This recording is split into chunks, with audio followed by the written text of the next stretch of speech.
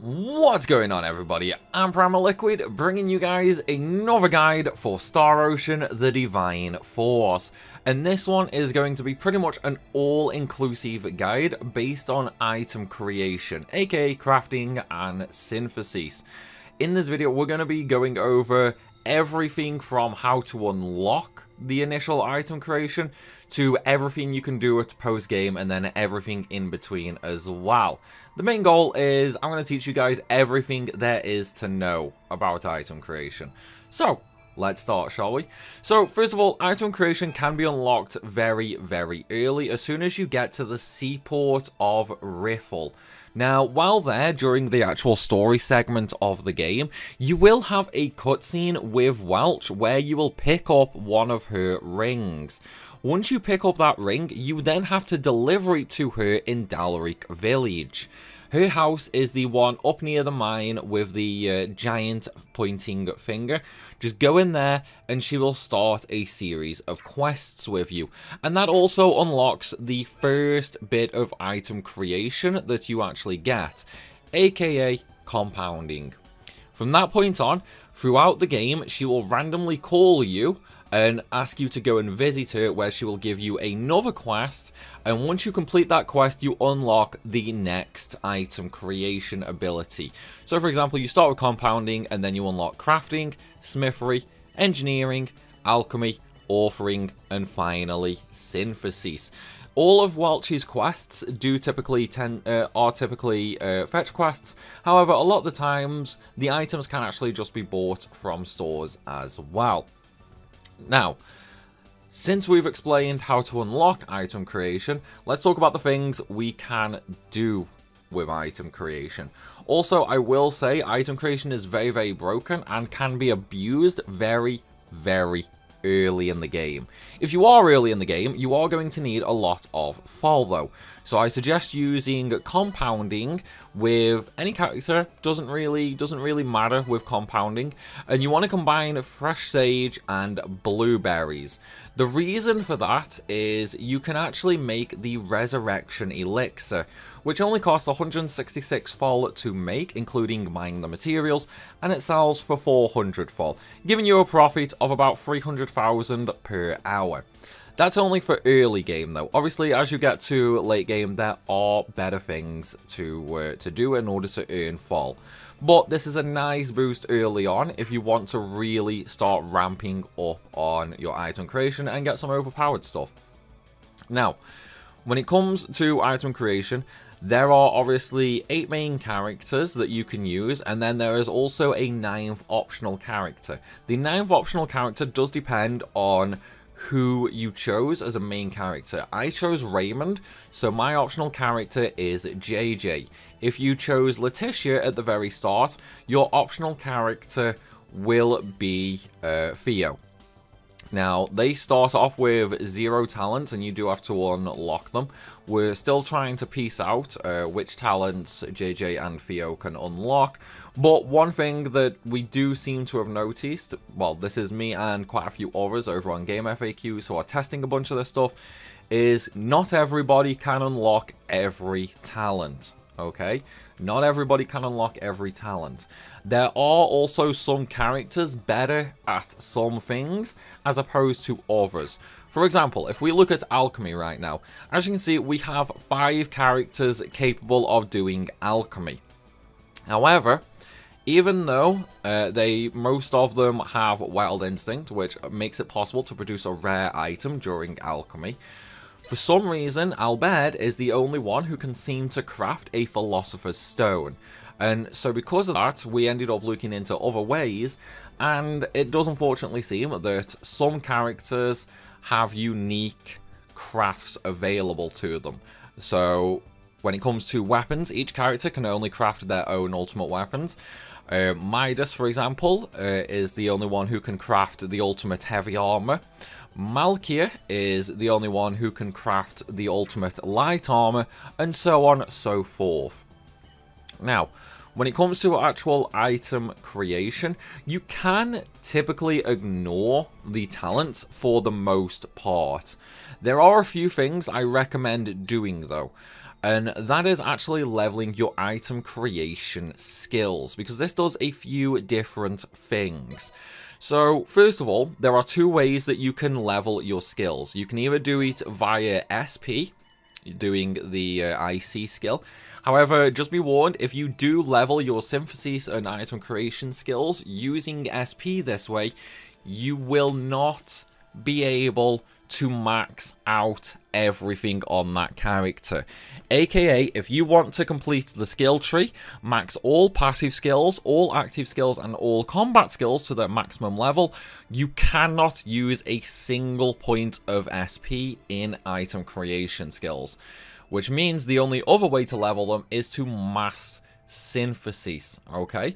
Which you might think takes a very, very long time Honestly, it's not that bad for the majority of these.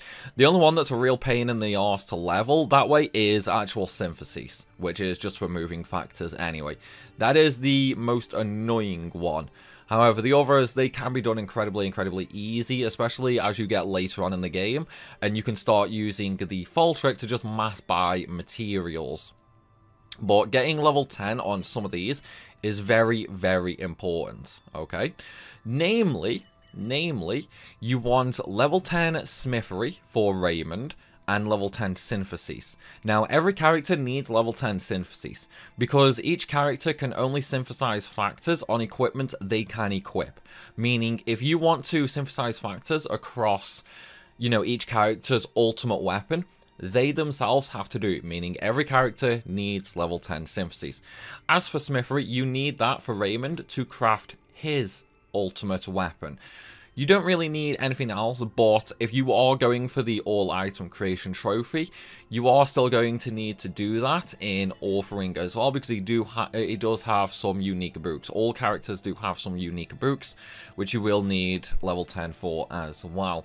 But again, that's only if you're going for the actual all crafting trophy.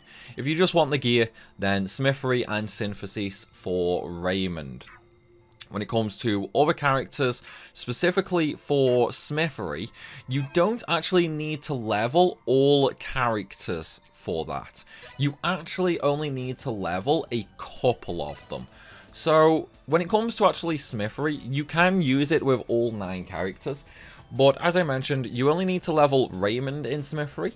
You need Letitia leveled in Smithery as well, simply due to the fact her best weapon comes from that too, which means she needs to craft that. You need JJ with level 10 Smithery, as his second best weapon comes from that. His actual best weapon is bought from Santa in Ultima Thule. However, he does have some very good crafts that are unique to him only, which you can use to farm guaranteed factors okay?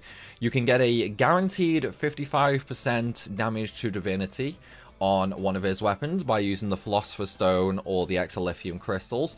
You can also get a guaranteed weapon factor 48% from his second best sword using the Philosopher's Stone from him. But again, his actual ultimate weapon is just bought.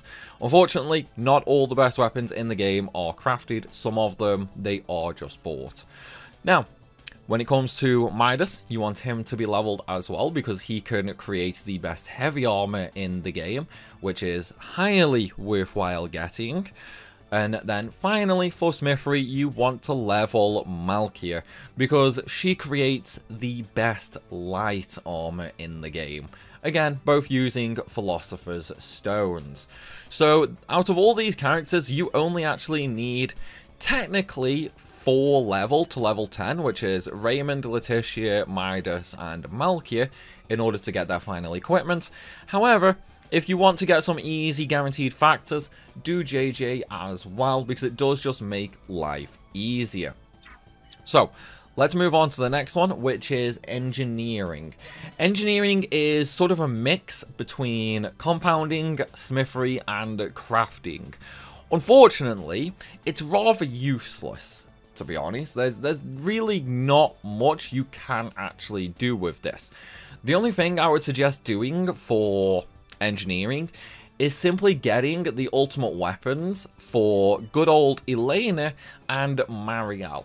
So if you want to get Elena's ultimate weapon, then you need to fuse, oh I don't actually have any, um, but you need to fuse two integration devices. You can get integration devices by buying them from Santa in Ultima Thule.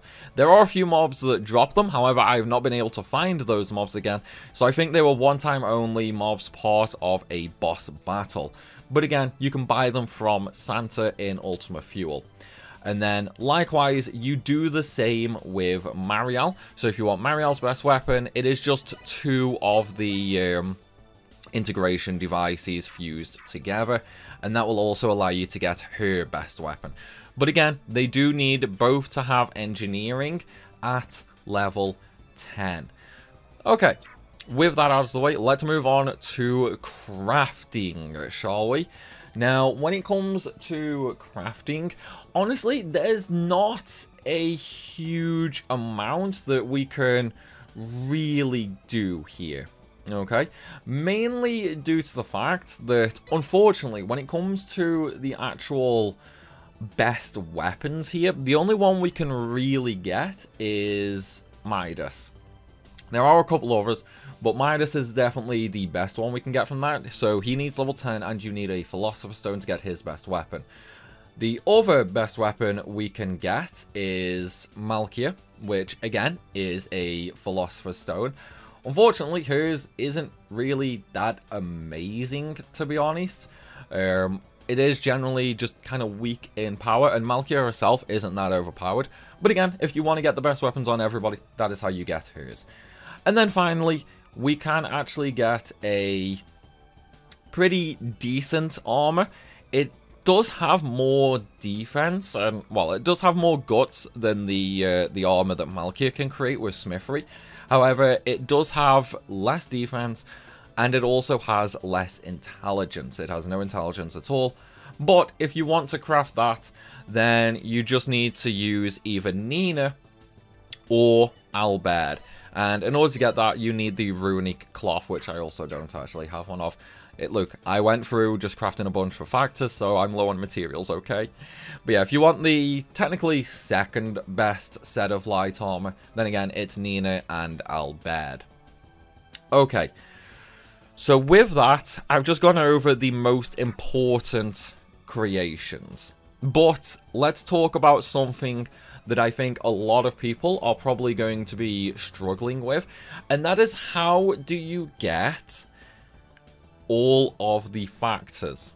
So if we look at Synthesis right, oh excuse me, if we look at Synthesis right now, obviously you know there's a lot of there's a lot of factors in the game. And you are going to need a lot of them for a whole bunch of different equipment, whether that's making EXP gear, whether it's making, you know, fall farming gear, drop rate gear, or just batshit insane damage gear. There are multiple ways to get this, okay? Multiple, multiple ways. So firstly, some pieces of equipment do have guaranteed factors on them. You can either craft them or you can either buy them from stores. I personally don't like this method because I think it takes forever unless you know what you are exactly going for. For example, JJ's last three weapons are all very good abilities, so using him is pretty much a guaranteed way of getting uh, factors, by which I mean, you know, using smithery to craft them. However, if you just want to get some generic factors and things like that, what I would suggest doing is, firstly, teleporting over to Palladirnia and just going to the normal Palladirnia, okay? The reason why I suggest going over to Palladirnia is the shop here, this woman right here, will actually sell every base material bar the high-end ones. The good news, though, right, is the materials this woman does not sell are sold by Santa in Ultima Thule. Which means, if you buy 20 of everything from her, and then 20 of everything nice. from Santa, you have 20 of every crafting material in the game. Okay? So for the majority, this is what you want to do. And then, once you have all of your materials, you're just going to go into item creation, we're going to go to crafting, and we are going to use Letitia. Look at how many crafts I've carried out with Letitia, okay? The main reason for this is she has nimble fingers, makes it possible to produce a rare item during crafting, and it also becomes easier to add a good factor. So what this means is whenever Letitia crafts an item, so if I just, you know, do a few crafts right now, whenever Letitia does a craft, you're going to craft you're going to craft something and then that item is going to have a bunch of factors on. Now what I do when I go for trying to mass produce factors, I will just sit here mashing X basically and I'll just produce item after item after item after item and then eventually I'll end up with about four 500 items all with factors on. So then I just load up a store, doesn't matter what store, just any store. I'll load up a store and I will go to the sal command. So when she finally stops moving, there we go. So I'll just go to the sal command, I'll go to weapons first of all, and then I'll just go up the list, pressing triangle on an item I don't want to sell so we can bulk sell the items. So for example, like there's no there's no effects here that I want to keep, so I would sell them. Again, nothing I would want to sell, uh, sorry, nothing I would want to keep, and you just go through until you find something you want to keep, like this uh, Traffian Knuckles right here. That has 210% drop rate, so I would want to keep that. So I would end up just skipping that and moving on to the next item, basically. Uh, projectiles homing ability plus added to some projectiles. That's a pretty good ability, so I would want to keep that. And again, we just skip that. And then basically, I just go through getting rid of all the items with factors on that I don't want. Once we have all of those items selected, I just sell them. And then I go back, buy a bunch more items, and do more crafting. And eventually, I will get all of the factors I need. But they will be spread out across multiple different pieces of gear. This is where we are going to use synthesis. Now, all synthesis does is it basically merges factors across equipment. And as I mentioned, when you are using synthesis, the only items you can synthesize are the ones that that character can equip. Okay, sorry about that everybody, uh, just had a phone call, so where were we? Okay, so when it comes to synthesis, the character that you use it on can only synthesize factors between equipment they themselves can equip. So, for example, Nina cannot equip heavy armor, so if we choose her base factor right now, there is going to be no heavy armor there. As you can see, it is just like cloth armor and light armor, basically. So, what we are going to do, and this is pretty much the easiest way I've found, as you can just use Malkia for everything, and yes, she is the best at Synthesis, by the way. Uh, she has the highest chance to move good traits across. We're going to use Malkia, and we're going to use a base cheap item to put the uh, uh, to put the factors on that we want to keep. So what I typically tend to do is I just use a power ring because every character can equip power rings and then we use that to transfer the factors across to the piece of gear that we want. So right now I've got a power ring there, obviously it already has a factor on and then what I would do is I would choose the second item which has the factors on that I want to move. So for example, right there, there's casting time 20%. I would want to move that factor across.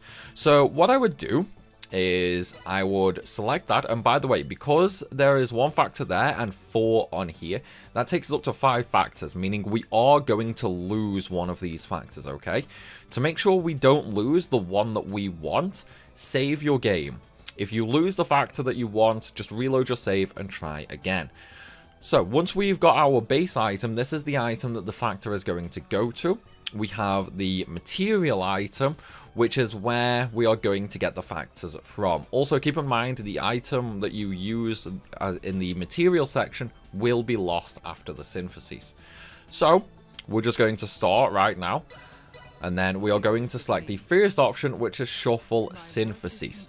So what Shuffle Synthesis does is it takes all those factors and it shuffles them around basically, and then it will choose four of them. So as you can see right now, I have chance of causing 40% fire resistance, casting time, bestows the elements of fire to attacks, and 250% item drop rate. That's fine, we're just going to X out that and we're going to take that.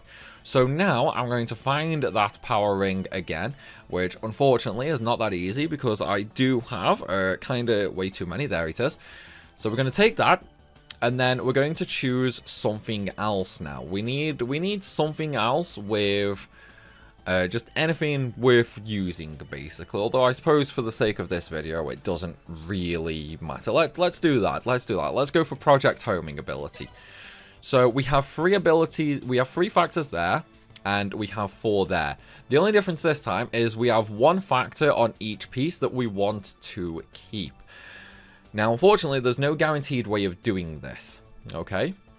The way factor movement essentially works is it adds all the factors together and then it will give you a maximum of four of those factors on your piece of equipment.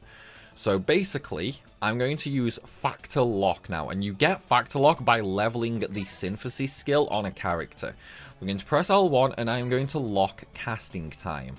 Now, by locking casting time, that means that when we synthesize these two items together, casting time minus 20% is guaranteed to be there, okay?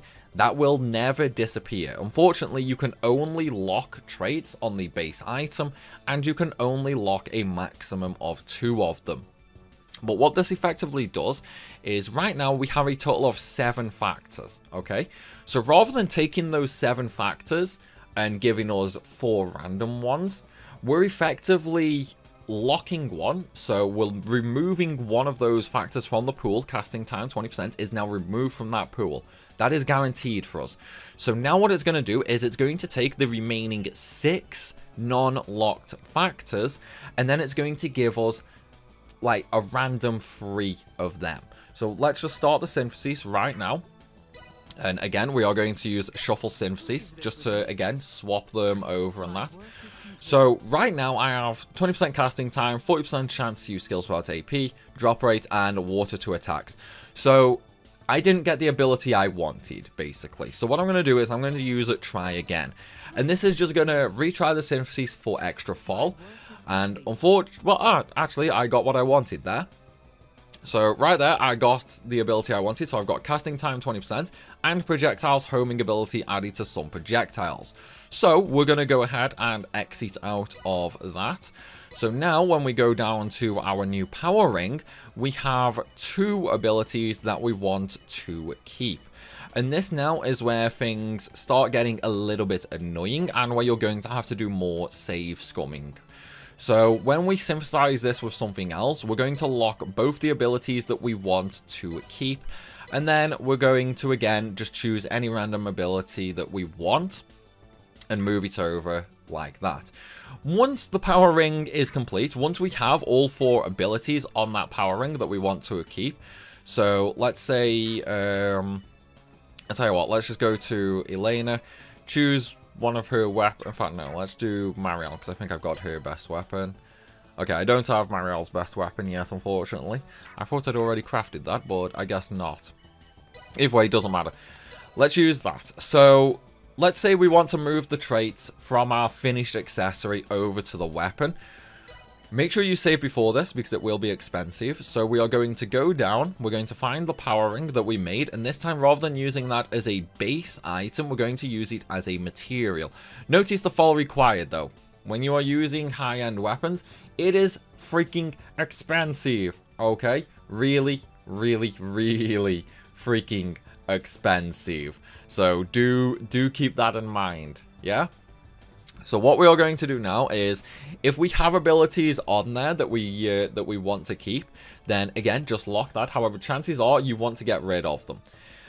This is where you are going to need to save and reload a lot. Because what you are going to do now is you are going to start the synthesis and you are effectively going to have to keep trying again until all four factors over here are chosen out of the, you know, possibly eight factors to go on to the weapon. It is going to take some time, I am afraid to say. But again, that is the unfortunately the only way to do it. Now, you could do it a different way, where you have two factors on two different pieces of gear, and you try and move them over that way.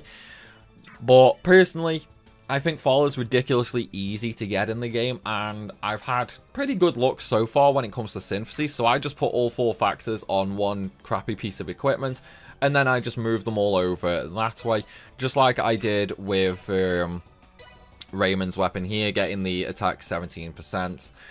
Like, I, I just have no real issue getting lucky with that. So that's the way I do it. But again, if you wanted to do it a different way, make two bad items instead and then just synth them over one at a time. But that will be more expensive on the fol. But it is entirely up to you which method you want to do. Now, we've talked about how to get all the best equipment. We've talked about how to get, you know, pretty much all the factors in the game from crafting. We've talked, well, we haven't talked about alchemy. We'll talk about that in a minute. Um, and we've talked about synthesis for how to move factors around. Okay?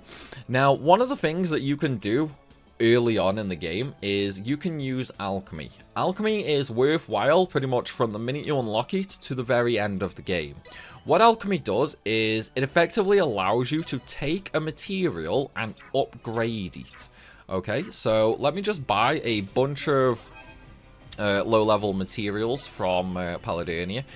Obviously, once you get to this point where, you know, you have just ridiculous amounts of fol, you are easily able to farm money, then alchemy does lose its effectiveness because you can just buy all of the materials that you need. But when you are not able to afford to just mass buy the high-end materials like I am right now, Alchemy is incredibly, incredibly good. It is even better early on, because what it will allow you to do is you can upgrade the ores to the next tier. So what that means is, right now, as you can see, I'm buying all these different ore type items. Iron, silver, gold, star ruby, mithril, rune metal, orichalcum, rainbow diamond, dark matter, and moonstone. This is the order they go in. So for example, we can use alchemy to level up iron. We can turn iron into silver. We can turn silver into gold, star ruby, mithril, rune metal. We can go all the way up. So once you unlock alchemy, one of the things you can do is you can save your game. You can use alchemy on Albert. He is the best for alchemy. You can use alchemy on Albert and you can start upgrading your materials. If you don't get the upgraded material, just reload your save and go again. And then this way, you could turn Mithril into Rune Metal. You could then turn Rune Metal into Orichalcum. You could turn Orichalcum into Rainbow Diamond. You could turn Rainbow Diamond into Dark Matter. Dark Matter into Moonstone.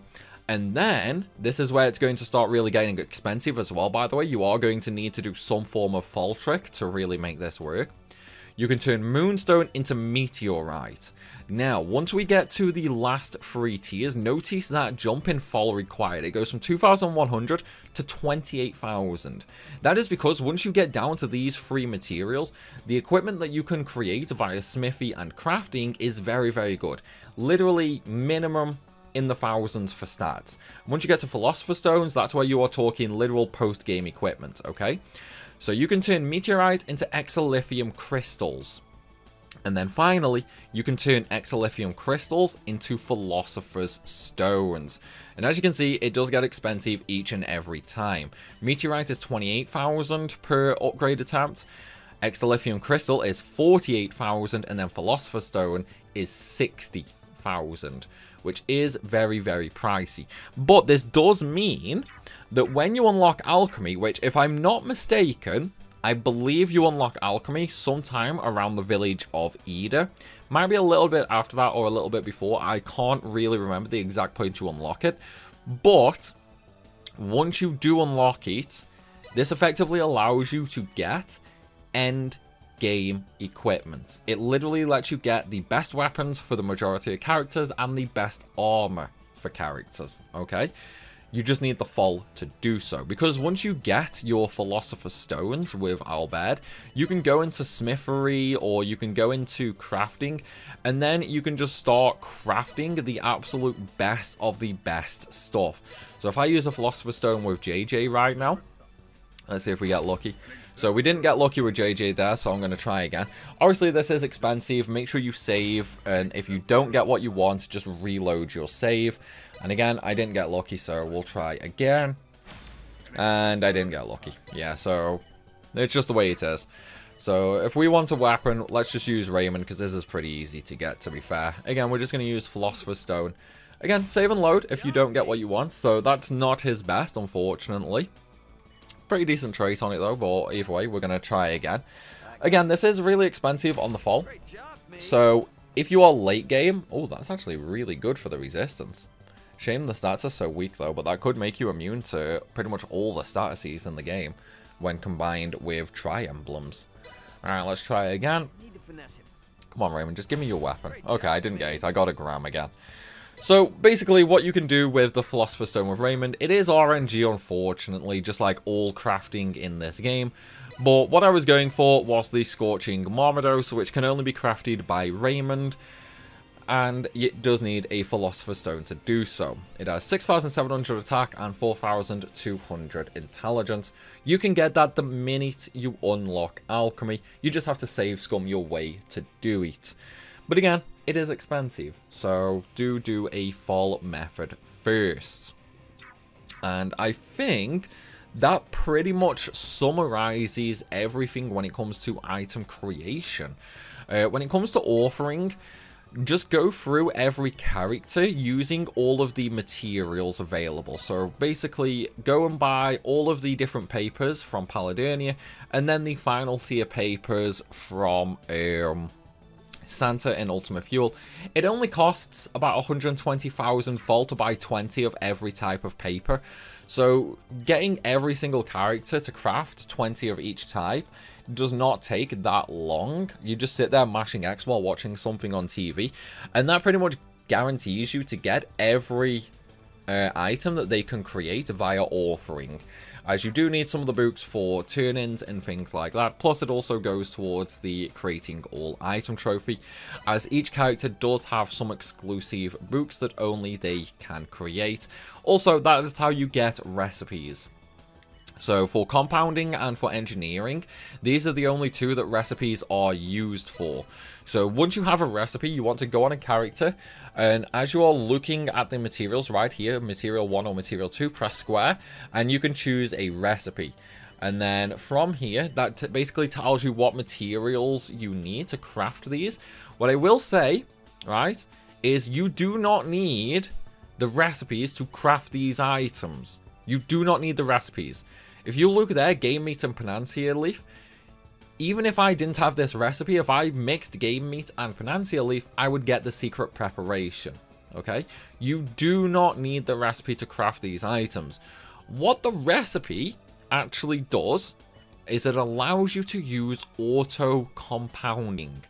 So what auto compounding is, right, is essentially if I press R1 on these top three, okay, and that means whenever I have Fresh Sage and Game Meat, Secret Spice and Roly Poly Beans, or Game Meat and Panacea Leaf, it will automatically use those materials and synthesize those items for me. Okay, so what I could do is I could use auto compounding with Raymond like that. And if we go back in, he still has them right there. I could do the same with Nina and just choose another three so again, we can come out of that, and then I could do again with Malkya. What this means now is every compounding recipe I can make just by closing out the menu. So if I just close the menu right now, I've obviously not crafted anything, but look at the top left there. That is just mass-produced all of my base level materials and turn them into items. So if I go into here right now, obviously I have no blueberries but it's used my aquaberries, my fresh sages, and so on and so forth. It does stop though once the material it is synthesizing hits 20. So because of that, uh, we do still have some items. But it's just something easy that you can do when going through the game if you are using a lot of, um, you know, a lot of healing items. Thanks. It is something that can be helpful because it will just allow you to max out very easily.